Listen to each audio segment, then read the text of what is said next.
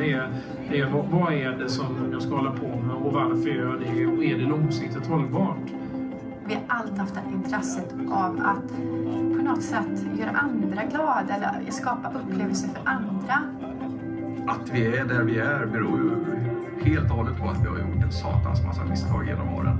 Det är så man lär sig på något vis. Ja, jag, jag tycker det är rätt självklart att man ska bistå med vissa saker bara som företag och samtidigt så kan vi tjäna pengar och samtidigt som vi kan ge tillbaka till samhället också. Klart fasen, det är bara liksom självklart. Jag tycker inte man ska, man behöver inte se det på något annat sätt. Drömläget är när det dyker upp en kund som har ett problem som ingen annan har löst. Det är då vi verkligen kvicknar till. Vi sitter inne med mycket kreativitet och vilja och ambition. Men vi måste ha ett jättebra team som tar liksom våra tankar vidare. Ensam eh, driver ingen lag framåt. Jag upplever knappt att jag åker till jobbet utan jag åker för att träffa mina kompisar. Sen råkar vi ha saker vi behöver göra också. Vi tar ett aktivt beslut att, eh, att eh, hjälpa till då, och kunna vara med i samhällsutvecklingen.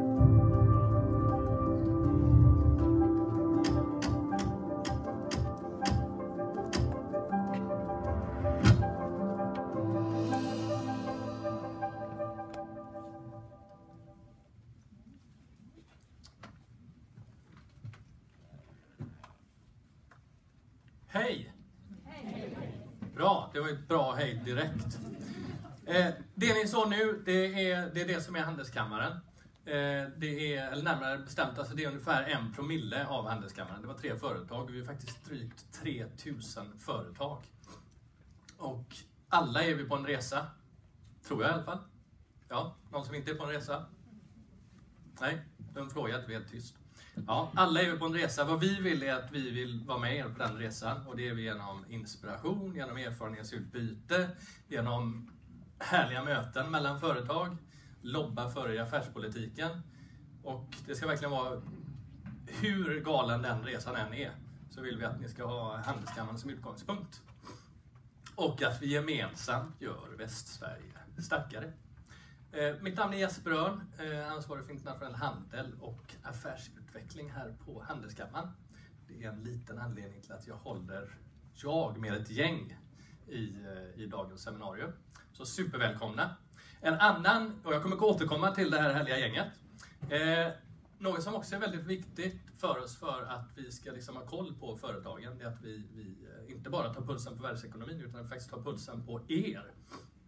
Och det gör vi eh, årligen bland annat genom att tala med chefer och ledare och ha någonting som heter Ledarkollen.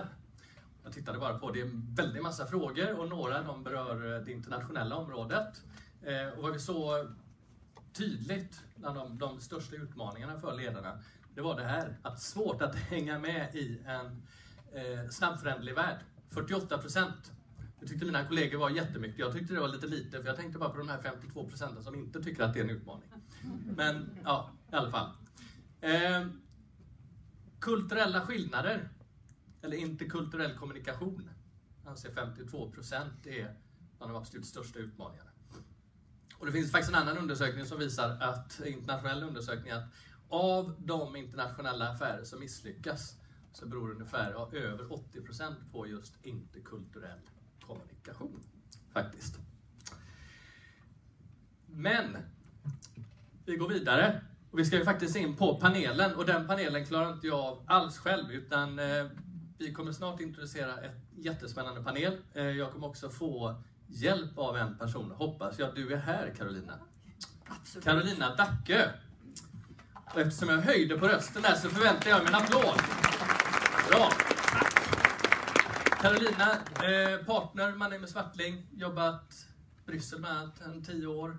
Eh, hon är Handelskammarens tullnörd också. Och det ser vi som någonting positivt på Handelskammaren. Det är det roligaste som finns. Och det mest komplicerade. Missar jag någonting? Nej, det är nog Ingenting? Nej, snabb summering. Eh, vad ser du fram emot idag? allt. Jag Allt. tänker, det här är en sån otroligt volatil situation vi är i just nu. De här ämnena som vi sitter och vi har försökt ta fram till den här panelen, det är ju knappt att man hinner skriva förrän det har hänt något nytt. Eh, Så just den här volatiliteten och den här panelen som vi har fått ihop är ju Jag är så nyfiken på att höra hur, hur eh, kommentarerna kommer gå. Om vi darrar lite på rösten är för vi vet inte hur vi ska hålla tiden. För vi har två stycken deltagare som ska med Stockholmståget 17.29. Men vi har en poolbil redo. Ja. Men vi ska börja med att hålla fingret på pulsen med en eh, Olof Manner som jag såg tidigare. Där är Olof. Olof, du har varit med en gång och slog mig. Och då så såg jag dig på den här bilden. Där står du så här. Det ser man inte där. Är det någon som har sett det stora blå? Vad tänkte ni? Det är, det är helt fantastiskt. Och det här är en väldigt, väldigt, väldigt tydlig komplimang. För att det här, jag blir helt starstruck. Det här är den största hjälten i mitt liv. Jag har döpt en katt, en hund, en syster. Nej, men många till det här. Så att vi lägger bara ribban där, men jag tar bort den för den stör. Olof, sju minuter världsekonomi. Klara, det nytt rekord. Eh, Olof Manner, Swedbank senior rådgivare. Eh, jag eh, har en lång bakgrund från eh, ränte och obligationsmarknaden och har varit analyschef på banken, chef för makroanalysen med mera. Eh, jag ska försöka då de nästa sex och en halv minuterna eh, gå igenom och lägga en liten eh, ingress inför det som vi kommer att prata om. Eh, mitt och mina kollegors jobb har inte blivit lättare sedan Donald Trump tog över rodret i USA. Eh, I den här Twitter-missilerna som kommer på nätterna kan det ju vara precis vad som helst. Och det har stora implikationer. Det kan vara en försvarsminister som åker ut där, det kan vara ett handelskrig som börjar där, det kan vara hot om eh, någonting annat i, i och det får omedelbara konsekvenser. Eh, naturligtvis är det så att det största temat idag som vi säkert kommer att beröra det är ju den pågående handelskonflikten mellan USA och Kina och hur den eskalerar. Eh, de sista dagarna har ju eh, Trumps hot om nya tullar och Kinas svar här för ett par dagar sedan inneburit att eh, börserna nu är på ett sluttande plan. Och det har de ju varit med det temat upp och ner beroende på förväntansbilden under ganska lång tid. Och det lär de väl fortsätta att vara nästa milestone i den relationen om man ska tro Trump är att de ska mötas igen på G20-mötet eh, i juni. Men dit är det en tid. Eh, ryktesvägen sägs det också att det ligger på Trumps bord ett förslag framtaget av amerikanska handelsdepartementet om biltullar och, eh, från, eller in till USA. Och det är klart att det slår mot Europas största ekonomi, Tyskland. Det slår också mot Göteborg och det slår ju mot Göta älvdalen där det fortfarande ligger många underleverantörer till Volvo på Hisingen och historiskt Saab i Trollhättan. Utöver det här så har vi ju haft en miljö där en, en, eh, en stor förändring har ju varit synen på Feds kommande räntehöjningar. Eh, marknaden var rädd under december. Eh, börserna trycktes till ordentligt. Trump gick på attack på Fed. Glöm inte bort att varje gång amerikanska börsen gör all time high så kommer det ju Twitter från, från Trump, kolla vad bra jag är. Och det är klart att Trump vill gärna ha en, en stigande börs och det är väl också en, en, eh, en anledning till att man kan hoppas på att man faktiskt löser den här handelskonflikten över tiden.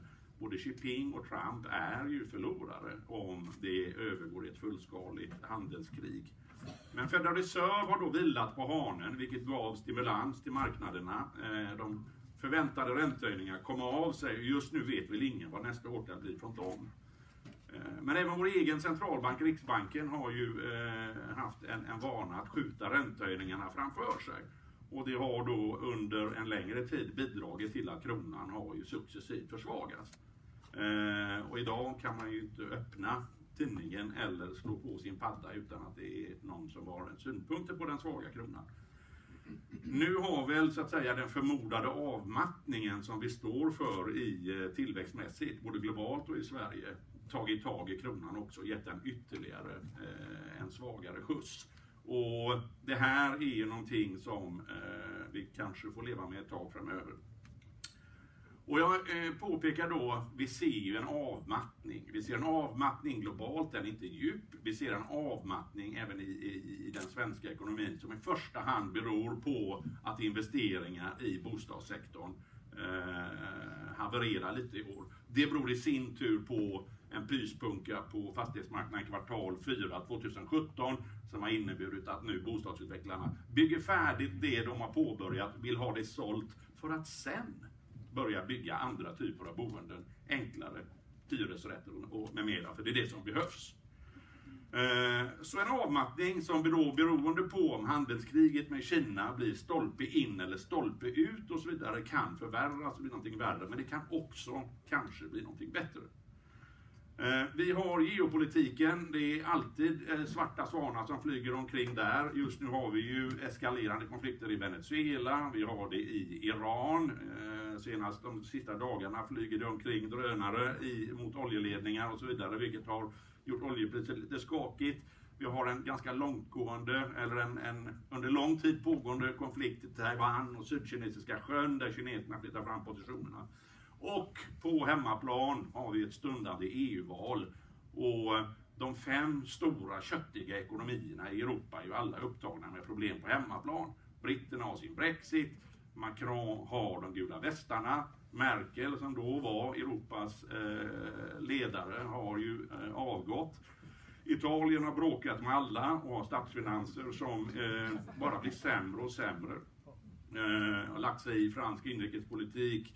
Och spanjorerna som då var den klart lysande stjärnan tillväxtmässigt i Europa eh, står just nu och letar ny regering efter att eh, den förra blev upplöst när man satte katalanska separatistledare inför rätta. Så att vi går ju inte in men, i EU-valet med något speciellt starkt europeiskt ledarskap. Eh, och som vi säger i Göteborg, det är ju IBG, ingen bra grej. Avslutningsvis, för jag har en minut kvar skulle jag tro.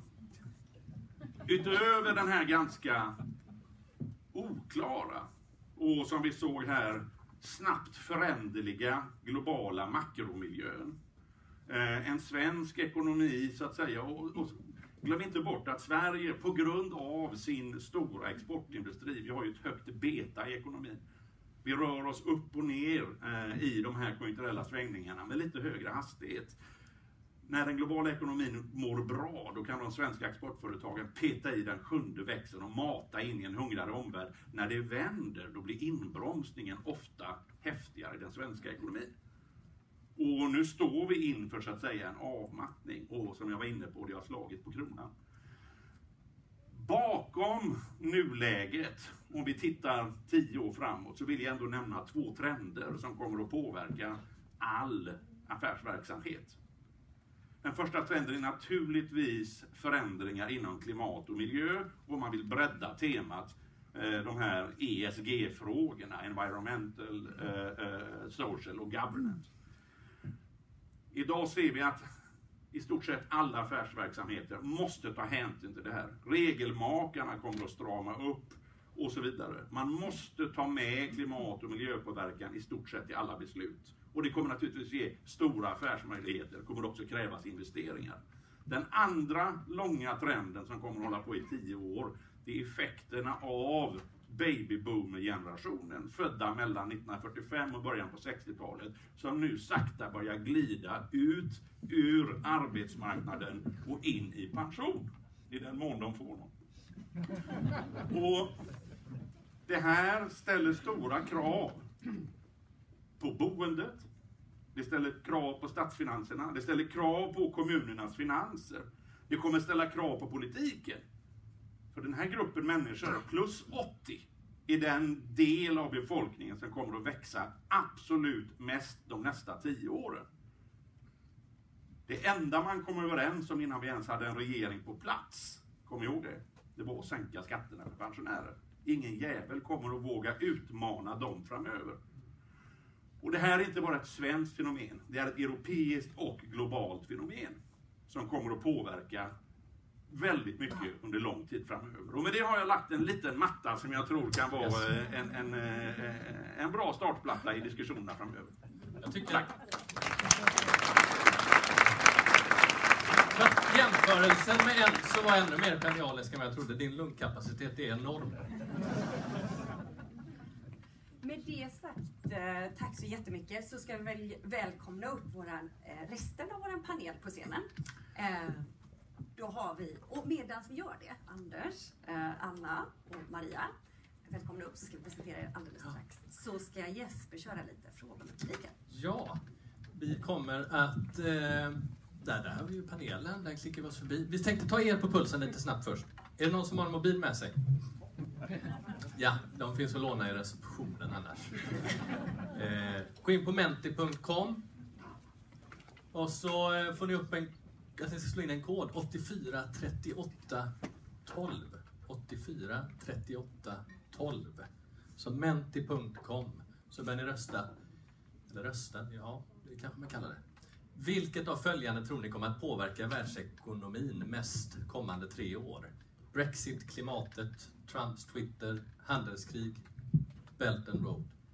Har panelen uppe mobilerna? Nej, okej. Vi kommer också att tala om det senare.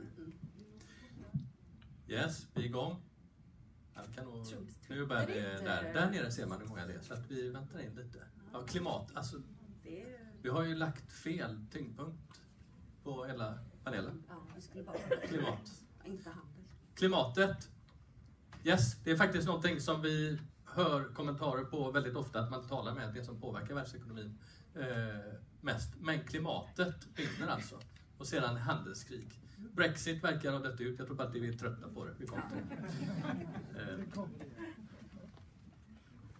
Och då så går vi vidare med nästa fråga. Står vi inför ett globalt maktskifte från USA till Kina? Kommer det att ske? Ja, ja, ja, nej. Och EU tar över får vi inte glömma. EU tar över la jag till där, för jag tyckte att det var en bra... eh, Ja, Det är ingen som tror på det. nej, okej. Kommer till det med panelen. Ja, men det var ju spännande, tycker jag i alla fall. Vi kommer få kommentarer på det, men Kina, Kina är ju överväldigande. Står ju för tre fjärdedelar av rösterna. Kina kommer att ta över. Då går vi vidare med nästa. Lite underlag till panelen.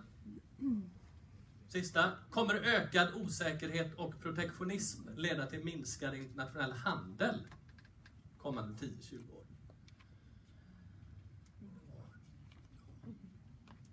Det står sig faktiskt nej, nej.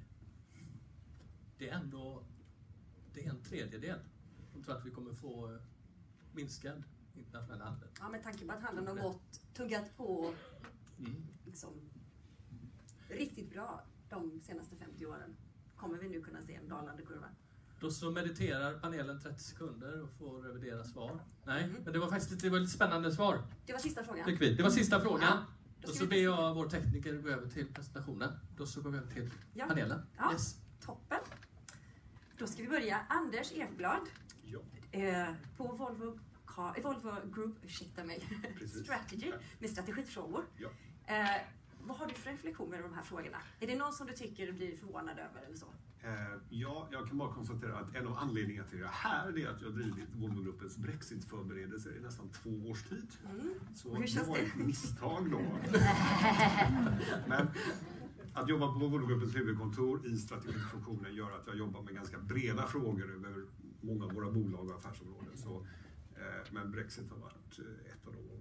Känner du det här 2%-alternativet att det har dött ut lite eller är, det, Ja, för- är man bara trött? för stunden tror jag det. Många är ju BOBS, alltså eh, Board of Brexit. Inte Bring Home Beer. Ehm, Men det kan vara så just nu. Det är en liten svacka i aktiviteterna nu i UK och EU om Brexit. Ja. Mer om det. Vi har en, en diskussion om den eh, alldeles strax. Maria Osenius, väldigt glada att vi har en så prominent Bryssel-representant här. Du är kabinettschef för Cecilia Malmström. Så mitt i hetluften och kanske den som egentligen är styr i taktpinnen bakom, bakom gardinen kanske. Jag gör så gott jag kan som högerhand. Ja, jättebra. Eh, en reflektion här. Jag tänker EUs roll i det här maktskiftet, som kanske inte är ett maktskifte, vi vet inte.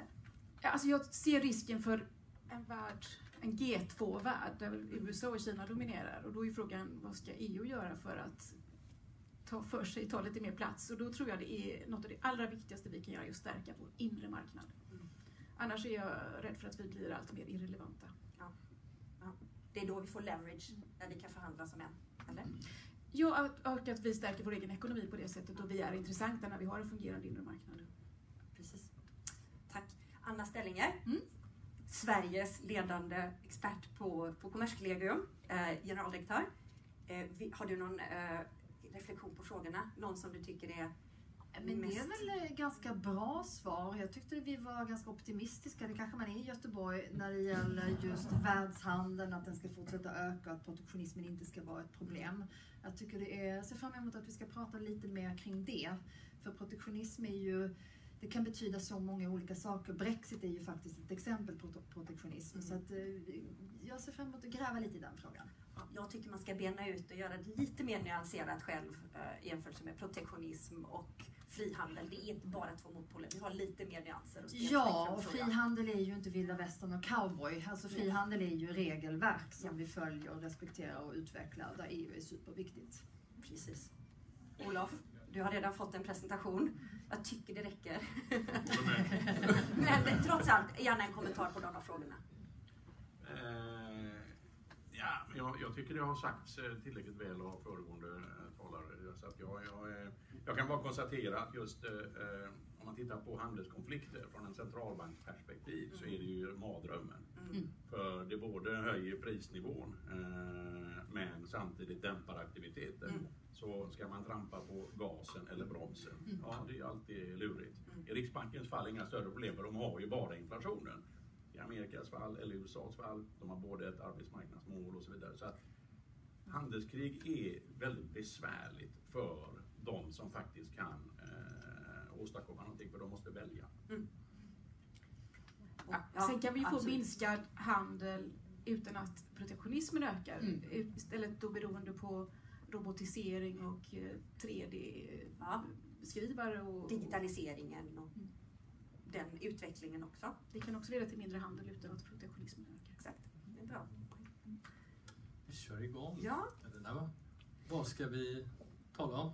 Vi går igenom ämnena. så här, klämma igenom på 45.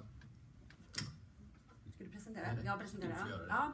Först har vi tänkt prata lite om det, ehm, USA och Kina, det här globala maktskiftet. Tycker jag är extremt spännande att höra direkt från EU och eh, eh, Kommerskollegium vad, vad vi står i EU och i Sverige och vad kan vi göra? Jag är alltid jobbar på advokatbyrå och jobbar med bolag och vill liksom uppmanar alla hela tiden att göra er röst hörd. Gå till Kommerskollegium eller kommissionen och framför er åsikt. Vad är det ni behöver? Vi är dåliga på det i Sverige jämförelsevis. Sen har vi Brexit och EU. Även om vi är lite trötta så ska vi ändå borra ner på det. Protektionism och frihandel. Och sen lite faktiskt kanske bra att vi hade den. Ja, precis. Vi trodde att den var lite utanför skopet men eh, kanske visade sig vara den viktigaste. Miljö och sociala medier. Faktum är att jag, om jag får lägga till en grej, på Financial Times igår, en av artiklarna handlade såklart om eh, tullarna, eh, Kina och USA. Och den andra handlar om en IPO för Impossible Foods som lanserar då alternativ till kött som hade pipit iväg fantastiskt högt. Vilka affärsmöjligheter! Vi ska ersätta kött. Det kanske ingår i miljön där, men jag, ofta har man pratat med om de här olika tre sakerna, jättebra, men det hade varit intressant att veta hur globalt maktskifte kan i så fall påverka, påverka miljön. Protektionismen, hur påverkar den miljön? Och Brexit, påverkar den miljön? Men det kanske kommer. Vi tar med det. Ja, Vi gör det. just det hade varit väldigt spännande. Det tycker jag. Alla har också fått en eh, röd lapp, en grön lapp. Tror jag. Så ni inte slängde dem eller la dem under stolen. De kommer komma till användning eh, senare. Det är liksom som ett ja och nej. Ni får gissa vilket som betyder vad. Det kommer komma i slutet av varje fråga. Som en ingrediens. Men vi kör väl igång? Ja. Vi börjar med Kina, globalt maktskifte. Ja. Eh, USA och Kina är ju våra två största ekonomier i världen. Eh, de representerar 40 procent av BNP. Eh, USA är väl fortfarande reellt sett störst ekonomiskt värde, men när man kommer till purchasing power så är ju kinesiska marknaden, de har blivit riktigt, riktigt stora och gått om USA. Och där pratar vi om handelskriget. När vi skrev frågorna och började förbereda den här panelen så visste vi inte vad som hände kort därefter. Det vill säga att Donald Trump sa att förra veckan, förra måndagen var det väl, på fredag höjer vi tullarna igen mot Kina, för vi gillar inte vad kineserna har gjort när de har dragit tillbaka eller de har agerat lite fult i det här förhandlingsspelet. Eh, Så då inför, bestämde man sig i fredags i USA att man höjer på Den här eh, sista delen går från 10% till 25% Kineserna gick ut i måndags då eh, med att vi höjer också och sen har USA gått ut och sagt att det är resterande på 300 miljarder US-dollar. Den handeln kommer vi också nu börja arbeta med. Och den kommer vi kanske nämna till och med den listan. Plus att vi har en annan lista med tullar eh, gentemot bilindustrin eller bildelar. Men den här extremt snabba eskaleringen som vi ser Kina, USA och hur sen det påverkar, påverkar, påverkar eh, ekonomin. Eh, mot, det, eh, mot den bakgrunden tänkte jag vi börjar med frågorna mm. till panelen. Jag tänker först egentligen med företaget Volvo. Vi jobbar just med riskanalys. Ni har en, en av de få som har en ordentlig business intelligence-avdelning. Ja. Alltså, hur har ni påverkats av det här handelskriget? Eller I er riskanalys, hur tar ni ställning till den? Påverkar det hur ni vill investera i de här två respektive länderna? Det är en bra fråga. Ja, massor av frågor. Bara för att repetera så alla är med. Eh, jag menar, Volvogruppen finns, vi finns i 190 olika marknader. Så vi är ett stort företag internationellt. Eh, vi har 14 varumärken och vi har produktion i ett flertal länder, ganska många länder. Eh, märker vi av det här? Självklart. Just mellan Kina och USA har vi själv, själva väldigt få flöden då. Men om vi tar exemplet med USA där vi har ett stort footprint, det är en stor marknad för oss. Vi har mycket produktion. Alla våra affärsområden är närvarande i USA. Eh, så vad händer då när man sätter en ny tariff mot inkommande gods i, från Kina till USA? Slår det mot Volvogruppen?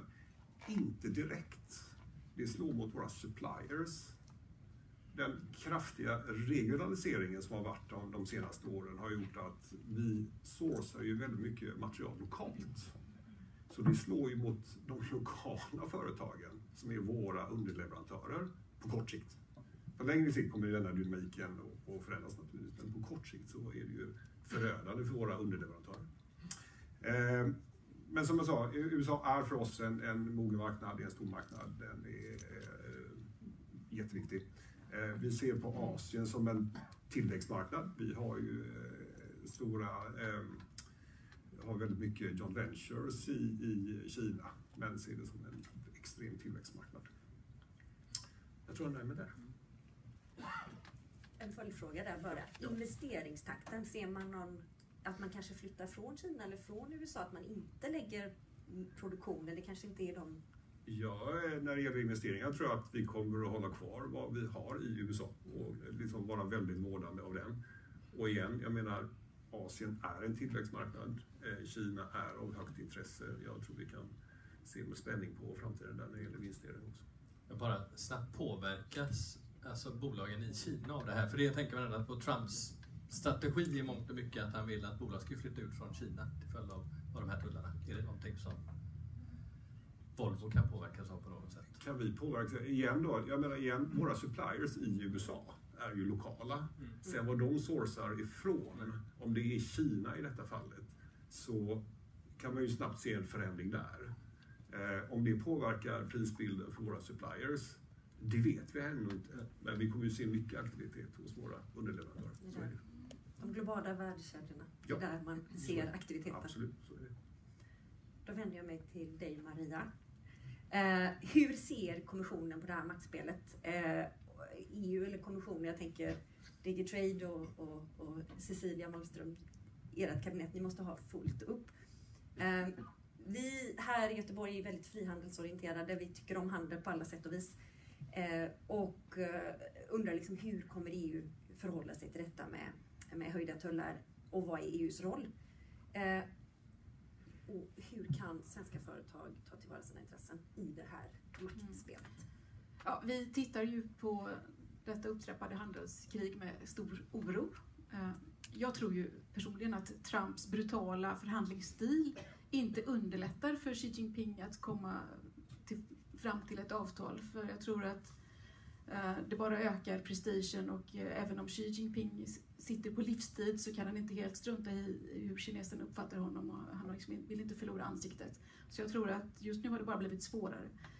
Ehm, men förr eller senare så kommer säkert de här två att komma överens om någonting. Men vad? väldigt lite har läckt ut. Men vad vi oroar oss för är att de ska komma överens om någonting som är säga, om de kommer överens om någonting som vi tycker är bra, så, så vore det om de kommer överens om schysstare spelregler, framförallt i Kina, där vi tycker nu att, vi, att det inte riktigt är schysst. Eh, de diskriminerar mot, mot utländska företag på massa olika sätt. Det vore bra, för det här vore regler som, som skulle gälla för hela resten av världen. Vi pratar om eh, på sätt och vis moderniserade regler i WTO. Det kan komma vara en del av detta avtalet och det vore bra. Men risken är att det blir någon sorts managed trade då Kina lovade att köpa X, Y, Z av USA eh, på ett sätt som är regelvidrigt. För det skulle ju då diskriminera mot resten av världen och fast det kanske Sverige har mera konkurrenskraftiga produkter så blir det då kinesiska eh, köp av amerikanska produkter. Det vore inte bra. Och en annan sak som har läckt ut lite grann som oroar mig, det är ju att USA säger ju att även om de kommer överens om någonting så ska de ändå behålla en massa tullar. Eller åtminstone hotet om tullar som direkt ska kunna slå till så fort de tycker att kineserna inte levererar. Uh, och på så vis så kommer de ju att institutionalisera sin regelvidriga underliga handelspolitik. Också dåligt. Och vilka möjligheter har svenska företag i det här läget? Ja, alltså på kort sikt så är det klart att när USA och Kina lägger tullar på varandra så kan ju svenska europeiska varor då bli relativt billigare och man kanske kan knapra in en liten marknadsandel. Och, eh, det kan ju vara trevligt. Eh, men och man kan också passa på att försöka lansera sig som en stabil, eh, stabilt område öppet för handel. För här håller vi inte på att trixa med tullar fram och tillbaka som vi gör då i vissa andra ekonomier. Så att, och det är ju bra, för är det någonting investerare tycker illa om så är det väl, så är det väl just osäkerhet. Och Trump har ju gjort det till sin policy att vara oförutsägbar och det, det tror jag är jättedåligt. Men på hela taget så är det ändå dåliga nyheter. Eh, det är inte bra med handelskrig. Eh, det riskerar att sätta hela världsekonomin i gungning. Och särskilt om de här två kommer överens om en massa regelvidriga saker som underminerar Världshandelsorganisationen, WTO, och den stabilitet eh, och det golv som vi har haft nu i flera decennier. Så det är allvarligt. Anna? Får jag bara nämna ett par saker som jag tror ändå är viktiga att ha med sig om vi tar några steg tillbaka.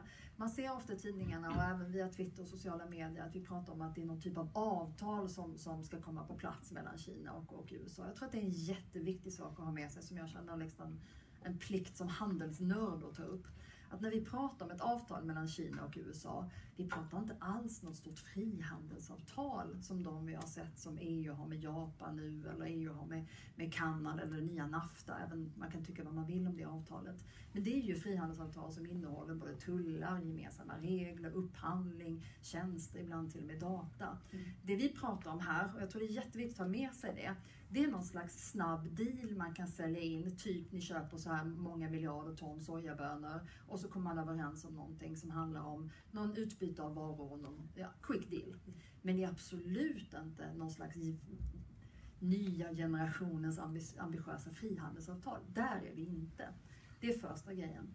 Sen måste jag vara lite skeptisk mot själva termen handelskrig.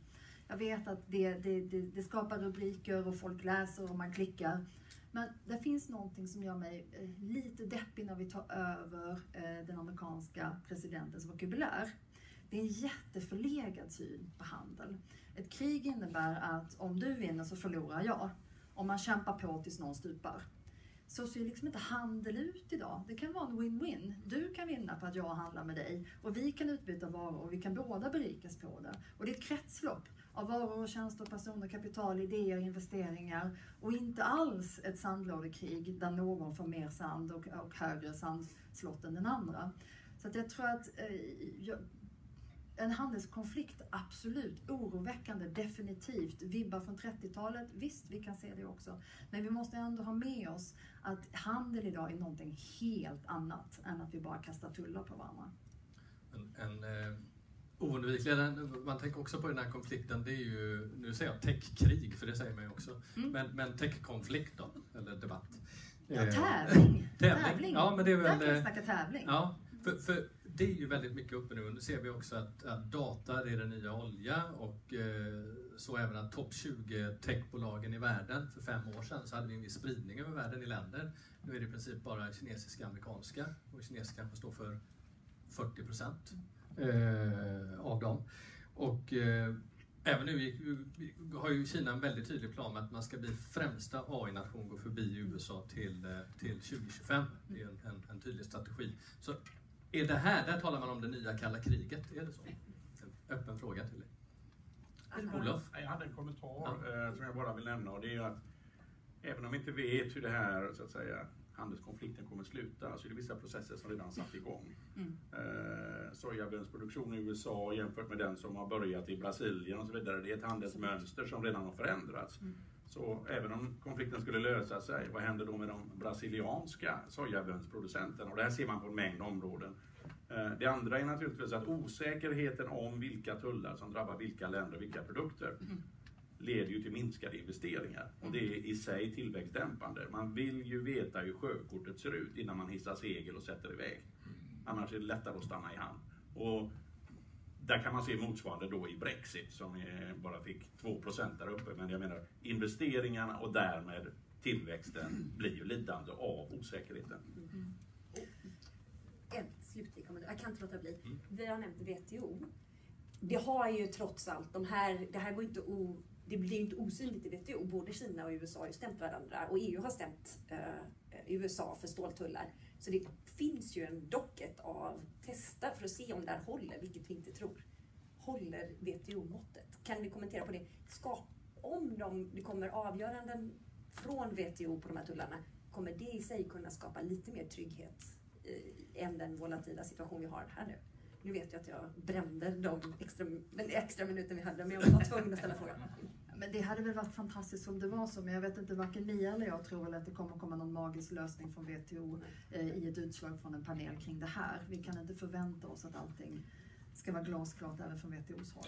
Nej, där, det är en fråga som EU har dragit USA inför WTO eh, gäller eh, så kallade Section 232 tullarna eh, eh som baserar sig på nationell säkerhet. Eh, och de, det är de tullarna som ligger nu på stål och aluminium. Och det är samma sorts tullar som vi riskerar möjligen kanske få på bilar och bildelar. Deadline går ut nu på lördag, blir det väl den 18, eller den 18 maj. Men, och ingen vet ju som sagt, Trump gillar ju att vara oförutsägbar men enligt rykten så kommer han antagligen att eh, förlänga den här liksom, fristen till sex månader till för att kunna fortsätta kanske ha det här som någon sorts hot. Det är precis klart. Sex månader till. Sex månader till. Tack! Ja, Okej, vad bra. Då vet vi det nu. Uh, ryktet är bekräftat. Eh, men, eh, så att vi är väldigt kritiska till, till USAs märkliga solospelande utanför WTOs regelverk. Samtidigt måste vi komma ihåg att mycket av de globala spänningarna som vi ser i handeln idag rotar sig i, eller har sin rot i att Kina har växt otroligt snabbt och också det sätt på vilket Kina har växt. Och tillbaka till de här frågorna som jag nämnde lite i början om oschyssta, mm, oschysst marknad.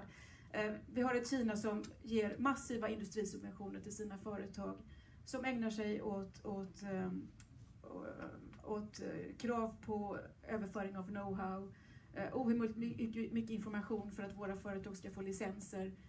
Ehm, en ökad roll för de statsägda företagen i Kina, överkapacitet. Allt det här, och det här delar vi i stort USAs analys av vad som skapar problem och obalanser idag. Det är bara det att vi inte gillar de amerikanska metoderna. Ehm, istället tycker vi att det här måste lösas inom WTOs ramar och där sitter vi också och filar på ny modern lagstiftning. Och lite spännande, EU-Kina hade ett toppmöte förra månaden där vi faktiskt fick en hel del nya intressanta skrivningar där Kina går med på att, eh, att vi ska ha nya regler kring industrisubventioner och de har också faktiskt förbundit sig att sluta med att kräva tekniköverföring. Eh, och de har också gått med på att skynda på förhandlingarna mellan EU och Kina eh, vad gäller ett investeringsavtal. Vi har förhandlat i många år. Eh, Och det här är jätteviktigt, för här vill vi ju ha Hela det här investeringsavtalet går ut på att vi vill ha lika villkor för våra investerare som de kinesiska lokala investerarna. Så att naturligtvis är det fortfarande ord på papper och vi måste ju se att det verkligen händer, att de verkligen genomför saker och ting. Men, men redan detta är ganska nytt jämfört med vad vi har lyckats komma överens om tidigare. Och även en del kontrollmekanismer för att det faktiskt ska ske.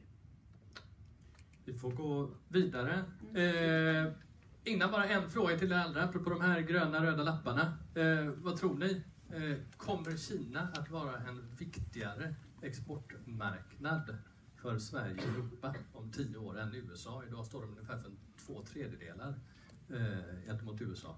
Vad tror vi, panelen och publiken? Grönt om Kina är... Det kommer det. Det är en överväldigande majoritet. Där är, Anna. Anna får ju... Du, du får två meningar Nej, men jag, jag tänker vara tant mot strömmen idag. Eh, och det hade gärna varit på dator också om vi hade haft tid att prata för jag tycker inte det är den nya oljan men det är en annan debatt. Ja.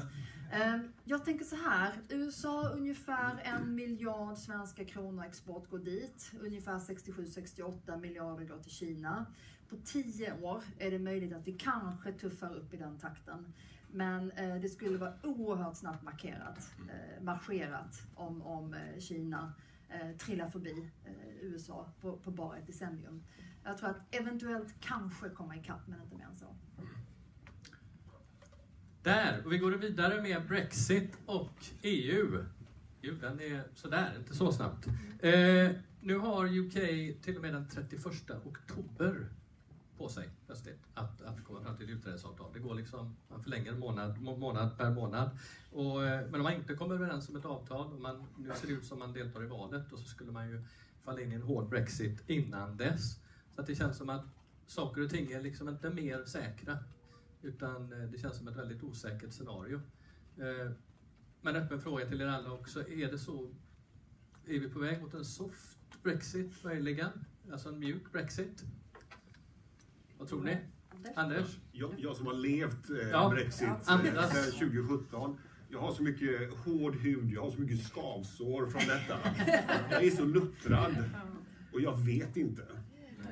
Men jag tror ändå att den här förlängningen, den här tidsfristen till sista oktober, som är en möjlighet att stanna kvar så länge, var nog nödvändig för att undvika en hard Brexit. Som jag tror det är väldigt få som vill åstadkomma. Anna, jättekort. Hård Brexit, mjuk Brexit, vad är det? Vad det är? Ja. Eh, ja, men det är en tusendollarsfråga. Okej. För jag, det, det är ingen som menar samma sak när man säger en mjuk Brexit. En hård Brexit är enkelt, för då lämnar Storbritannien EU utan någon typ av överenskommelse, avtal, övergångsregim. Utan man, man liksom bara puttas ut och man befinner sig då på andra sidan en yttre gräns med allt det innebär i tullar och regler och deklarationer och annat. Och förbjuden dataöverföring och svår personrörlighet. Det är en hård Brexit. En mjuk Brexit, det, det du menar med en mjuk Brexit tror jag inte någon annan här menar exakt samma sak och säkert inte media och inte Theresa May och inte Labour. Så det återstår att definiera vad det skulle vara. Uh, och där finns ju olika variationer på det. En variation som man pratar om är att Storbritannien skulle lämna men att man sen direkt då etablerar en särskild tullunion med, uh, med EU. Eh, huruvida det är mjukt eller inte, ja, speciellt mjukt är det ju inte för personrörlighet och dataöverföring och tjänsteleverans och vi behöver fortfarande göra tulldeklarationer. Så att vill man kalla det mjukt så kan man kalla det mjukt. Jag tycker det låter rätt besvärligt. Som tullnörden här då, eftersom jag blivit presenterad som det, så vill jag bara- Tullnörd är bra. Tullnörd är bra. Handelsnörd. Ja, tack. Bara för att förtydliga detta. Om det är stor skillnad på att vara kvar i tullunionen och att ingå ett avtal om en tullunion med EU. För det senare, då måste man, om man ingår ett avtal ungefär så som Turkiet har med EU, då är fullt ut alla tulldeklarationer, all tullhantering, all ursprung. Det blir Jag tror det är jätteviktigt. Om jag får ta en minut till det. Vi fick för ett par år sedan en, eh, ett uppdrag från Sveriges regering att ta fram de olika alternativen som man kan reglera relationen mellan Sverige och EU å ena sidan och Storbritannien efter Brexit. Vilka modeller finns? Man pratar om Kanada, Turkiet, Norge, det finns Schweiz-lösningar, det finns frihandelsavtal, det finns massa olika modeller. Och det här var en jättenyttig övning. Vi har alltså 100 experter hos oss, både på inre marknaden och yttre handelspolitiken. Vi skulle försöka kondensera det här och göra det begripligt. Och alltså, djävulen är i detaljerna. Alla modeller vi tittar på, oberoende hur mjuka, softa, fantastiska de är, innebär en markant försämring mot dagens inre marknad. Det är det positiva med Brexit, att vi har fått förklara vad den inre marknaden är. Vi handlar lika lätt idag mellan Malmö och Manchester som mellan Malmö och Luleå. Varor, personer, eh, kapital, tjänster rör sig fritt. Den dagen Storbritannien lämnar så kan vi antingen ha en EES-lösning som Norge, det vill säga man är kvar på inre marknaden.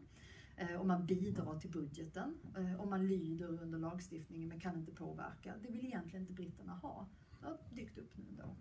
Då har vi fortfarande en hel del mäckighet. Vi har det som du nämner, att man kan ha en särskild tullunion med, som man har med Turkiet. Det är ju ganska besvärligt i sig, för okej, vi kan ha nolltullar, men vi har fortfarande administrationen som måste göras vid gräns. Dessutom så blir man lite bunden också i sin handelspolitik med omvärlden. Det vill säga, man kan inte bli den här nya globala superaktören Commonwealth igen. Och sen så har vi frihandelsavtalen. De är ju fantastiska. Kanada, Japan som, som har förhandlats. Men alltså jämfört med den inre marknaden så är det mest ambitiösa frihandelsavtalet som någonsin har funnits i världen. Den är ju liksom inte ens en, en, en, en liten beståndsdel av vad inre marknaden är. Utan då är det fortfarande begränsningar på dataöverföringar, personrörlighet, investeringar, eh, kan vara begränsningar på offentlig upphandling och liknande. Så att vad vi måste ha med oss är att det finns ingen enkel, ingen enkel väg att ersätta den enkla relationen vi har idag. Pascal Lamy, jag får avsluta med ett citat bara, som ni säkert kanske har hört. Han jämförde brexitprocessen med att återskapa ett ägg ur en omelett. Ungefär så är det faktiskt.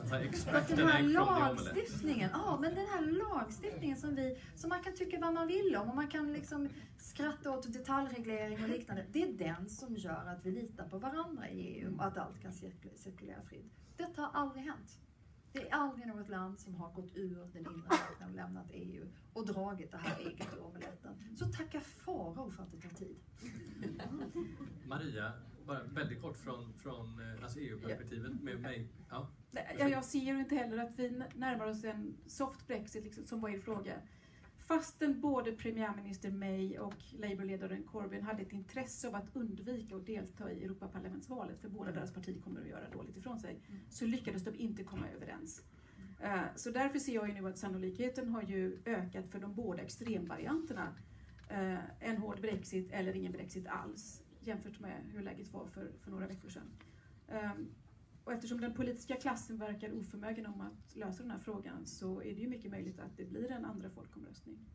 Eh, Sannolikheten för det har också ökat i alla fall. Anders, en sista fråga till dig om Brexit. Och jag, jag förstår att det är hårda, hård hud och det alltså, att du har blivit luttrad. Men det här, jag kan förstå att det också blir ett litet antiklimax inom organisationen. Hur, hur hanterar man osäkerheten nu internt? Vad gör ni?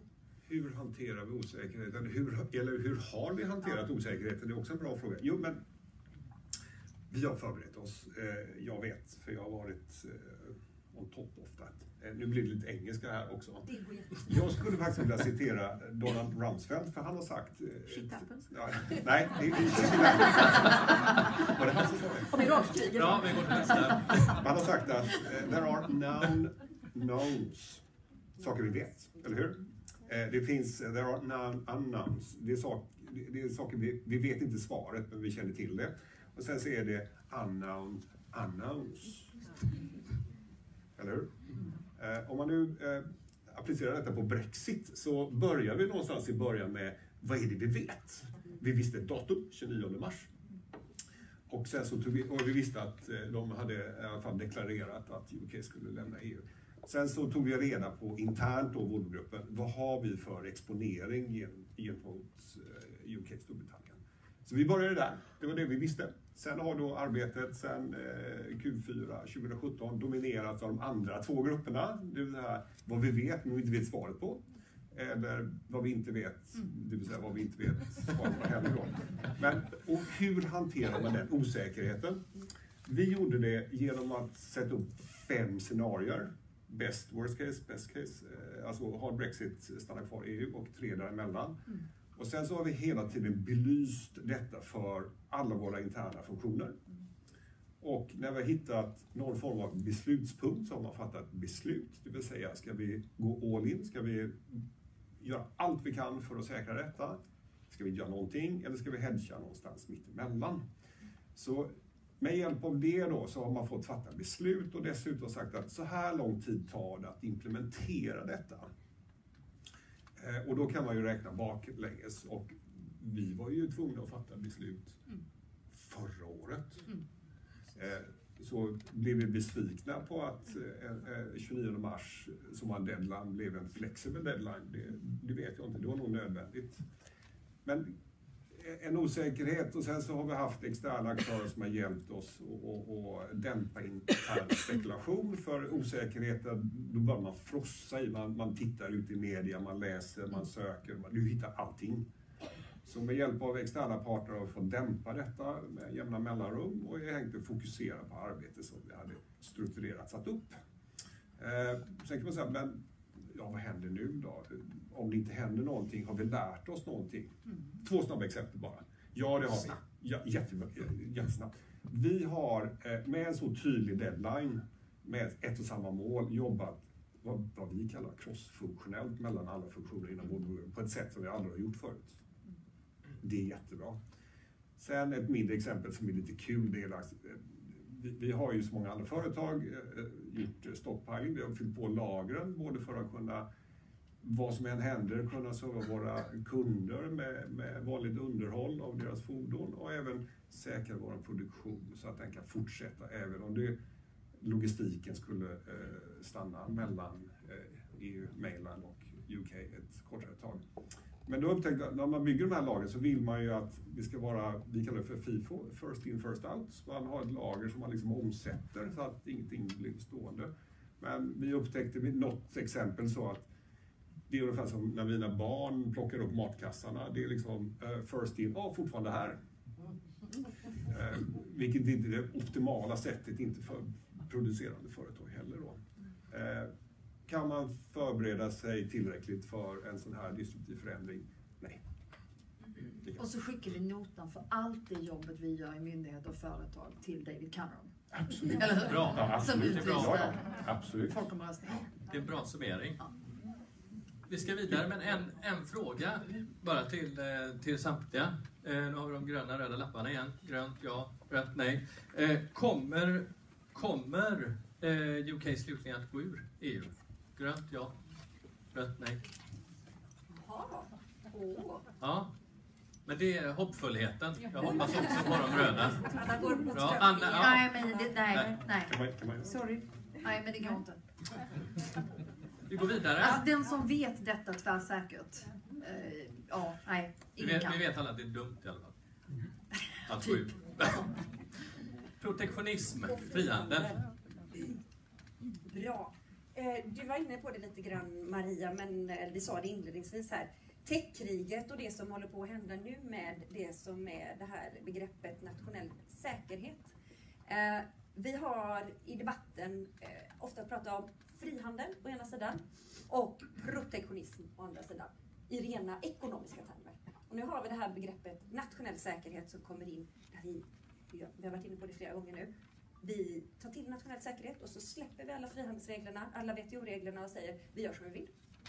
Ehm, var står vi någonstans nu i den här tredimensionella vi vill ju kunna använda nationell säkerhet ibland när det verkligen berör nationell säkerhet, tänker jag. Men jag tänkte först skicka en fråga till Anna.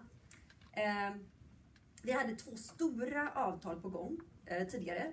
TPP, eh, som USA valde att inte gå med i, och TTIP, det är mellan EU och USA, som USA också valde att lägga på frysboxen, i frysboxen.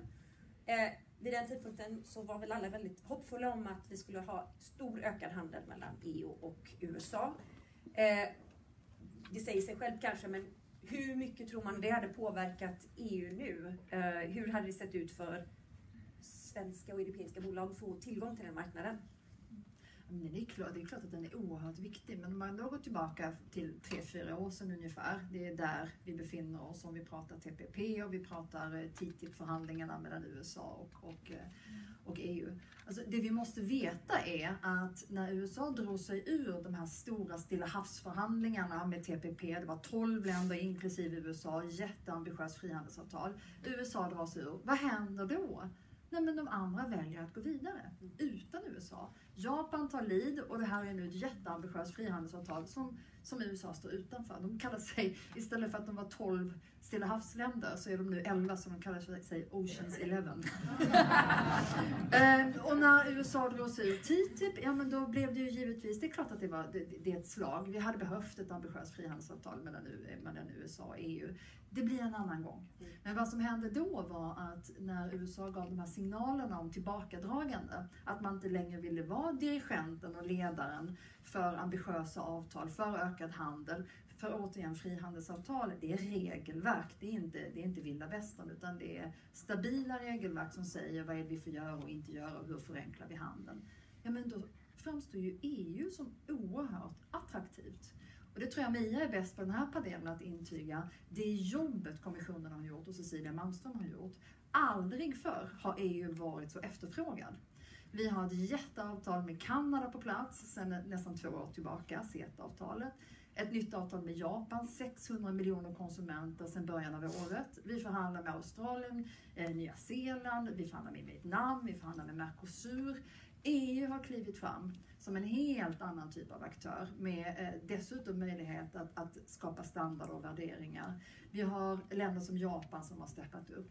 Så att det är ju inte det att, att liksom frihandelsförhandlingar har helt stannat av på grund av USA, utan de sker med andra. Den dagen man är redo att ha riktiga förhandlingar med USA så kommer EU säkert att ha det. Idag snackar vi lite förenkling av tullar, kanske lite regler som skulle förenklas, men inte mer än så. Så man ska inte nå ha för många förhoppningar. Anders, som bolag, jag tänker på det här med protektionism och synen på det och eh, eh, hur ett bolag, jag tänker att ni, det är klart att ni är väldigt positiva till, eh, till frihandel, men är det enkom positivt? Eh, ja, det är frågan. Vi belyser ju alltid värdet av goda handelsavtalssamarbeten. Eh, eh, vi hade ju gärna sett att TTIP hade blivit implementerat. Mm. Det blir inte det. Så det är lite avsaknad av det då. Nej, men eh, vi brukar säga fair and free trade är, det är bra i grunden. Eh, det, det, ökar handel till en, en, en bra kostnadsbild. Eh, men sen, det, det, finns ju också, det ökar ju också eh, en administration dit. Till exempel när man eh, ökar kraven på local sourcing, alltså man, man ska handla lokalt. Och sen ska man bevisa detta på något sätt inför man, någon årlig revision, att man håller detta och så vidare. Så, eh, det finns ju, det skapar ju ett annan form av arbete än just den här handelskomplexiteten. Men det, ja, sen skruvas ju de här kraven upp med tiden och det kan vara lite svårt att hantera i längden. Så ja, det finns en liten baksida även med handelsavtal. Maria? Alltså, USA missbrukar ju termen nationell säkerhet och det grövsta. Ehm, och jag ser inte några liknande ten tendenser i Europa. Däremot pratar vi, vi pratar väl lite mer om nationell säkerhet här också nu för tiden. Ehm, även om det framförallt är för, för ehm, ja, försvarspolitiker och liksom säkerhetstjänsten att, att, att hantera risker i förhållande till länder som Kina och Ryssland. Men vi har väl börjat prata om det lite mer också inom handel, men då är det framförallt, eh, det är det framförallt eh, Kinas uppköp av framförallt kritisk infrastruktur som har satt igång en debatt. Och vilket gjorde att EUs medlemsländer med rekordfart ändå gick med på en förordning som kommissionen föreslog om att skrina investeringar, ingå, eh, inkommande investeringar från tredje land i, i Europa. Eh, och det här sattes igång när, när eh, kineserna köpte ett robotföretag i Tyskland som hette Kuka och, och även lite, hela hamnen i Pireus och hela Portugals elnätverk. Och det satte igång ändå en viss diskussion inom Europa och nu var ju 15 av EUs medlemsländer screeningmekanismer eh, på plats. Eh, och andra länder håller på att diskutera det, inklusive, inklusive Sverige. Eh, men man ska komma ihåg att det här är väldigt mycket nationell kompetens, vad som är nationell säkerhet. Det är inget som vi definierar Eh, i Bryssel och i slutändan eh, efter alla möjliga analyser och informationsutbyte som den här screeningmekanismen eh, medför så är det varje land som bestämmer vill vi av nationell säkerhet blockera en viss investering utifrån. Och där tror jag att kom, vi kommer att se en viss variation även i framtiden. Det finns ett medlemsland som för några år sedan lyckades blockera en investering eh, ett utländskt uppköp av en yoghurtfabrik. Eh, då sa de nej i Frankrike, Ja, naturligtvis. Eh, med hänvisning till nationell säkerhet. Eh, jag tycker det är ganska hårdraget, men eh, Eh, jag tror vi kommer att se en viss, viss variation eh, även framgent. Men- Men ändå för att den här protektionism versus frihandel, det kan se klatschigt ut att ställa dem mot varandra. Men precis som frihandel inte är vilda västern. Jag menar att frihandelsavtal, jag brukar säga det, CETA-avtalet mellan EU och Kanada, det är 1300 sidor ungefär. Eh, med gemensamma regler, med annex, med vad som ska gälla. Så att, och EU är ju det största frihandelsavtalet som finns. Och ingen här tycker inte att det finns att det saknas EU-lagstiftning om man säger så. Så att vi kan inte sätta frihandel som skulle vara någon slags eh, utan några regler och, och, och några hinder, något sånt där, utan det är ju verkligen regelbaserad handel det handlar om. Och protektionism å andra sidan, nej men all protektionism, alltså alla hinder är ju inte dåliga. Vi pratade miljö, jag hoppas vi, vi hinner med några minuter om det också. Det finns jättegiltiga hinder där vi ska skydda djurvälfärd och människors hälsa och olika produkter vi inte vill ha in i våra länder. Det är jätteviktigt. Men då måste vi reglera det på ett smart sätt. Och när det blir läskigt, när det börjar lukta dålig protektionism, det är då när jag eh, diskriminerar andra länder. Eh, ofta utvecklingsländer dessutom. För jag menar att min produkt är bättre bara för att den är svensk. Eller min produkt är bättre bara för att den är fransk. Eller bara för att den är spansk. Men då pratar vi ju inte om, om innehållet i produkten och hur miljövänlig den är. Utan det är någon slags nationell label. Och det är då det börjar bli en, en, en besvärlig protektionism. USA first, America first. Eh, per definition skulle det vara bättre bara för att den kommer från ett visst land. Eh, smart, smarta handelshinder, giltiga handelshinder, det är när vi tittar på vad är det vi behöver skydda? Vad är det som är legitimt? Vad vill vi skydda? På vetenskaplig grund gärna. Ja, gärna. Det är alltid Jag, plus. jag vill också peka på att eh, skyddstullar, handelstullar, protektionism, eh, precis som en svag valuta, det hindrar ju omvandlingstrycket i ekonomin. Man får konstgjord andning, eh, föråldrade industrier eller verksamheter får leva kvar lite för länge. Och till slut så brukar uppvaknandet bli både bryskt och besvärligt. Mm. Och så att säga, över en, eh, om man tittar från en ekonomisk tillväxtperspektiv över längre förlopp så är så att säga tillväxten en förlorare. Mm. Vi, Vi går vidare mot sista miljön och sociala medier. ja, Evelina? Ehm, vi lever ju i en väldigt dynamisk värld och jag hoppas att vi får med så mycket miljö på de här sista minuterna som möjligt. Eh, sociala medier har gjort att vi kan se rörelser bli riktigt stora på väldigt kort tid. Ehm, och jag tänker lite eh, de här dynamiska krafterna som finns till exempel i, i eh, Greta Thunberg och hur snabbt hon har kan, kunnat ansamla så mycket eh, politisk kredibilitet eh, och komma, kommit in i, i sociala, eller i rum där kanske en 16-åring inte annars skulle kunna komma in. Jag bara tar ett exempel. Tänk om hon skulle börja säga att vi bojkottar de smutsigaste produkterna eller de smutsigaste varumärkena. Vilken politisk kraft skulle inte ligga bakom det?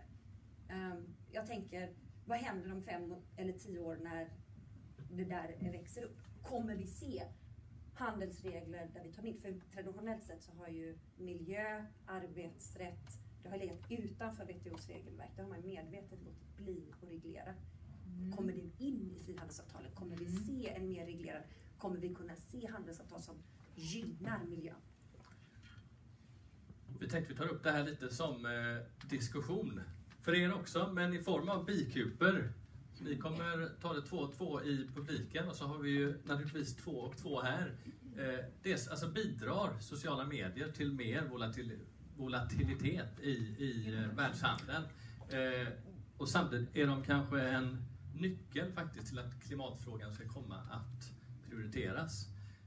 Det är ja, djupa frågor på kort tid, men vi var ju många som förskräcktes, kan man minst sagt säga, av, av just FNs klimatrapport nu i, i höstas. Eh, men känslan är också att den ebbar ut lite från, från beslutsfattarnas sida och att det snarare ges effekt genom, genom personer eh, såsom Greta Thunberg och på sociala medier. Vi tänker två och två bikuper, 90 sekunder, sen så fångar vi upp det. Det är bara att diskutera.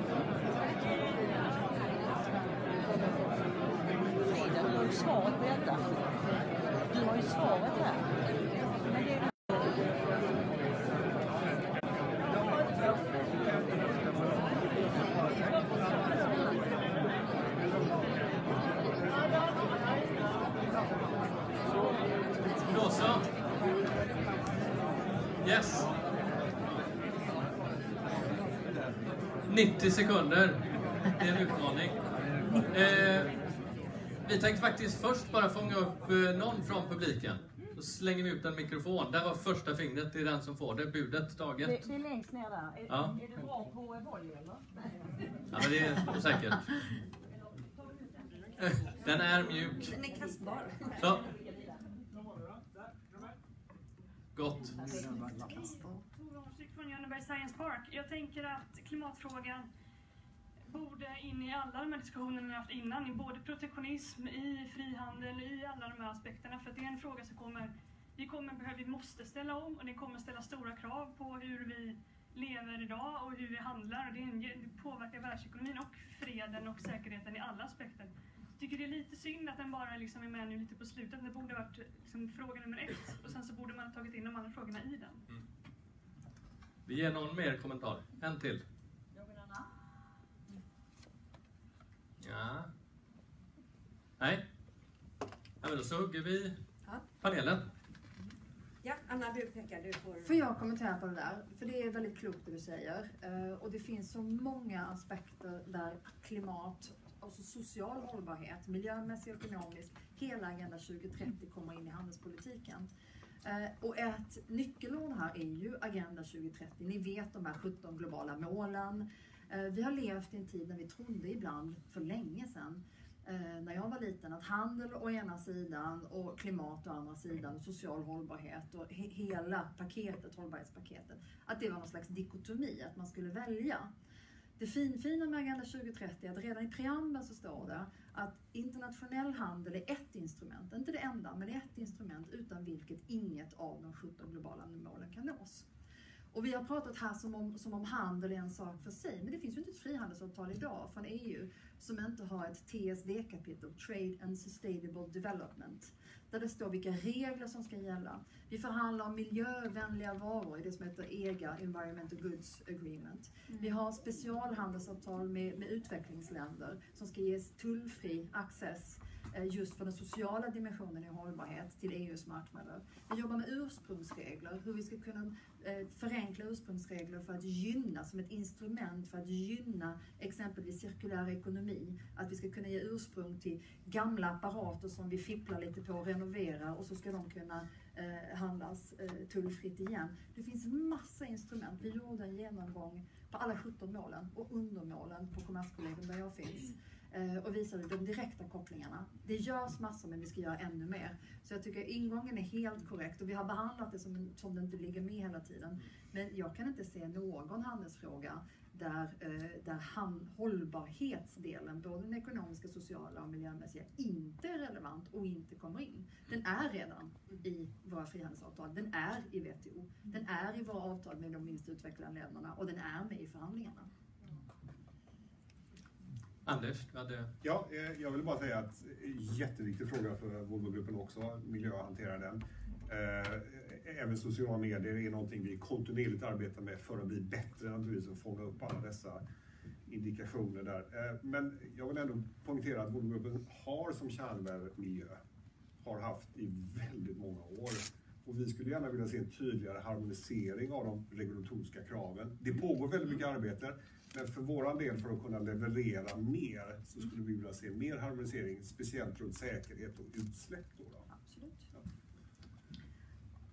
Ja, Som Anna sa, inte ett modernt handelsavtal utan ett kapitel om, om eh, hållbar utveckling och numera också en, en referens till, till Paris klimatavtalet. Eh, Men alltså rent allmänt sett så leder ju handel till, Eh, till att ny teknik och bättre produkter snabbare sprids. Ehm, och vill konsumenterna, för konsumentmakten är viktig här också, vill konsumenterna ha klimatsmarta produkter så är det bra om de får ett större utbud och liksom mer att välja på, liksom konkurrens på det klimatsmarta området. Ehm, jag vill bara snabbt nämna någonting som det antas alltid att lokalt är miljövänligt, men jag vill ändå slänga in att transporterna är inte alltid en så stor bov som man kan tro. Det beror ju på om saker och ting flygs eller kanske åker med, på stora båtar. Till exempel snittblommor från Kenya kan vara mycket mera, ha mindre klimatpåverkan än att köpa blommor som har växt i, växthus här, till exempel. Och dessutom ha en social dimension eh, för att vi tillåter länder att, att utveckla Ja. sektorer där vi kanske inte riktigt är världsledande i Sverige. Ja, Olof, har du en sista kommentar? Eller sista Ja, kommentar, men gärna flika in något klatschigt. Vi se, det bestämmer ju du. Det blir min sista kommentar. Men eh, eh, jag vill väl ändå eh, peka på att vi har ju pratat om flera sådana här stolpe in, stolpe ut. Brexit, blir det mjukt? Blir det folkomröstning? Blir det hårt? Eh, blir det handelskrig? Bla, bla, bla. Man vet inte riktigt. När man inte vet så är det liksom svårt att, att agera. Men just klimatfrågan och den demografiska frågan som jag inledningsvis tog. Där är redan facit. Vi sitter ju redan med det. Det är mekaniska Det är no händelser. Det är no-brainers att agera på. Och det gör det ju mycket roligare när man fattar beslut när man lägger fram strategiska planer oavsett om det är i en affär eller i politiken. Svaret sitter vi redan med. Så att det är bara frågan om hur vi ska agera. Och, och det gör det lättare att omfamna de här trenderna tycker jag. Håller med. Där får vi tacka panelen och väldigt tydligt att vi tar med oss det här kring miljön. Det är ganska uppenbart. Jag tror att det är säkert det som, som har gått i diskussionerna här. Så att det får vi, vi får bjuda ner er en gång till. Så får det bli ett rent fokus helt enkelt. Och vi tar tåget hit kan jag poängtera. just det, vi går. därför vi kan gå. kan- Precis, vi ska passa tiden. Vi kan också nämna att vi har inte gåvor direkt utan vi stödjer organisationen Mitt Liv i, i integrationsarbete. Så att det går en gåva till dem från er. Hoppas att det är okej. Eh, tack så jättemycket för att applådera för panelen. Och, eh, för er som är här nu, häng gärna kvar och eh, diskutera. För nu så har vi mat, mingel, ledarskap. Det skulle vara en bild, men det var det inte. Men vi har mat, mingel, ledarskaps eh, i, i lokalerna. Och likaså så tror jag att vi får gå upp till Kristallen, kallas det, på elfte våningen där ni har stans bästa utsikt. Och bjuds det på glass där? Precis, så ni kan ta eh, innan man går hem, ät glass uppe på terrassen på elvan. Tack så mycket!